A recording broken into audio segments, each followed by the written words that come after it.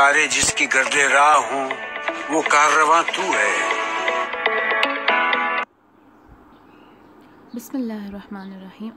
alaikum warahmatullahi wabarakatuh. I hope all of you are in the best state of Aman and health.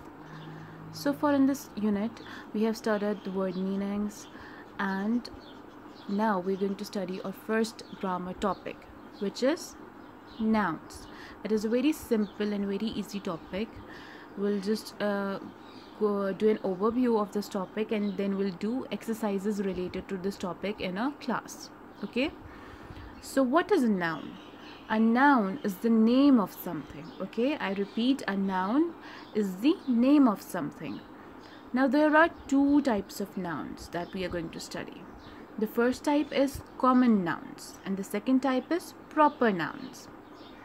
Now, what are common nouns? Common nouns are general names given to things, for example, river, city, planet, month.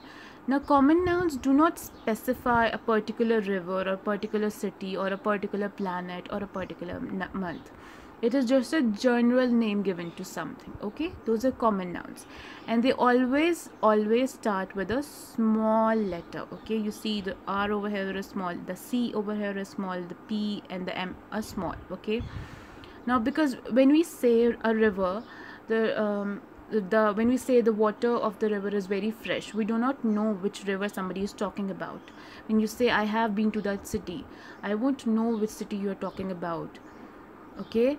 So common nouns do not specify anything. They are just general names given to one thing okay?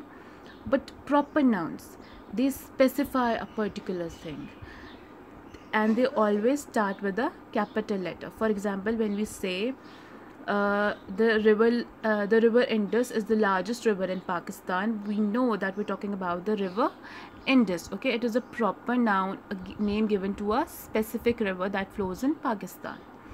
Then when we say that I live in Islamabad Islamabad is the proper noun which starts with the capital letter and we know that we're talking about a particular city in Pakistan okay? Then when we say that uh, Jupiter has many moons. We're talking about a particular planet that is Jupiter, okay, and its name starts with a capital J.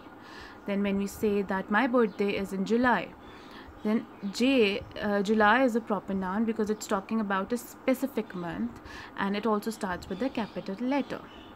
So I'll repeat a noun is the name of something. There are two types of nouns common nouns and proper nouns. That was all for today.